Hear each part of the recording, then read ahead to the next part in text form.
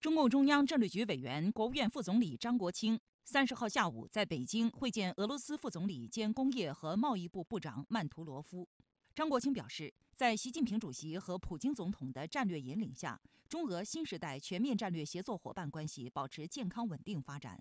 中方愿同俄方一道，以两国元首重要共识为指引，发挥政府间合作机制作用，推动工业合作提质升级，助力两国各自发展振兴。